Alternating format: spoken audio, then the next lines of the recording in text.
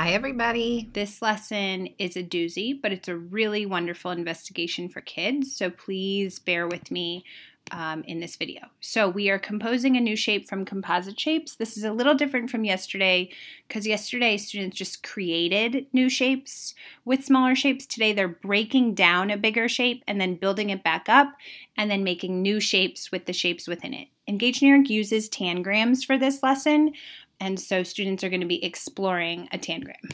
Before I start my mini lesson, I just want to talk about the materials. The teacher is going to need a tangram and every single student is going to need a tangram.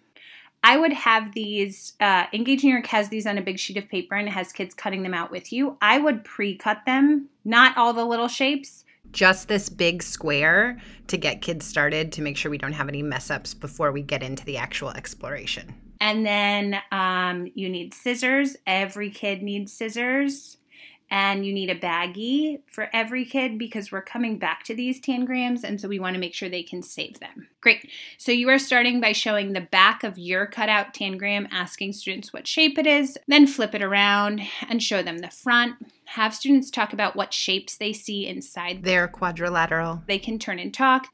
And then talk about how we're going to cut apart this shape into smaller shapes and see what we notice. The first cut you're going to make is into two triangles. And as you cut, students are going to cut. You want to be super clear with what students are doing with scissors when they're done, where they're putting them, how they're staying safe. This lesson could really fall apart if we don't give super clear observable directions around the scissors. So take some time to think about that. Great, so you cut apart this shape. You talk about what you have now. Now you have two triangles. Talk about in this triangle what shape what shapes kids see, what shapes kids see in this triangle. And then you're going to focus on cutting this triangle. You're going to take this triangle, you're going to, um, sorry, you're going to cut it. You're going to ask students what shape they see now. Now they see two triangles. We use two triangles to make a bigger triangle and then set these two triangles apart. Then you are just focusing on this triangle. And you want to make sure um, kids can have a little trouble like modeling what you're doing. And so make sure that you tell them you're putting the long end down in front of you. That just will help kids align. And so then you're going to ask kids what shapes they see and you're going to cut off this top triangle. You're going to ask them, after we cut off this top triangle, what shape do we see? We see a quadrilateral. It has four sides. Hmm, now what shapes do we see inside of this quadrilateral? Turn and talk. Oh, we see two triangles and we see two different quadrilaterals. Then kids are going to cut off their parallelogram with you. What shape do we see now? Oh, we see another smaller quadrilateral. Then students are just going to cut all their pieces out and they are going to try to put the square back together. It is going to be really, really tempting to help our students put the square back together. We really want them to struggle. We want them to persevere. We want them to like practice their spatial reasoning with these pieces putting the square back together. Some of our kids will get it, some of our kids won't. That's okay. Let them try. Celebrate students who are trying. Once your timer goes off, you're going to stop that activity and move right into guided practice, where you're just going to give kids another opportunity to build new shapes using the shapes that they just got from decomposing this huge square. And so you're going to have them get out the two big triangles, make sure they know it's the two big ones, and see what shapes they can make.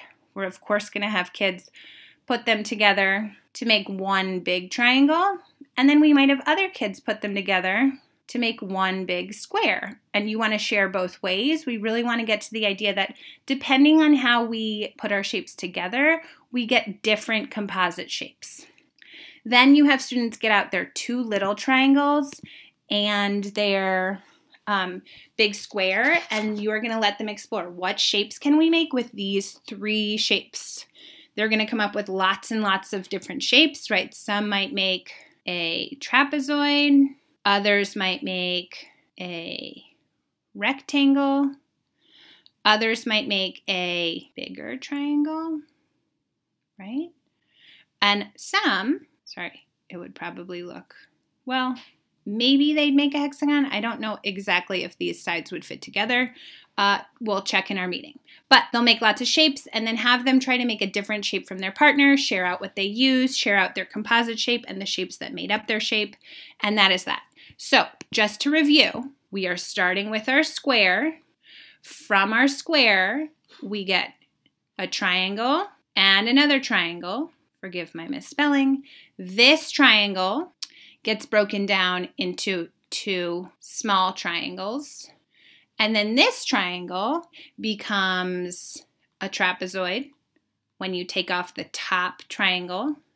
And then this trapezoid becomes a smaller trapezoid when you take off the parallelogram. So square to two triangles, to two smaller triangles, to a trapezoid because you take off the big triangle, to a smaller trapezoid because you take off the parallelogram. We are going to practice this in our meeting, so please write this down. We want to be super fluid and clear with the process that we're taking kids through so we are not fumbling um, as we are going through it. That is that.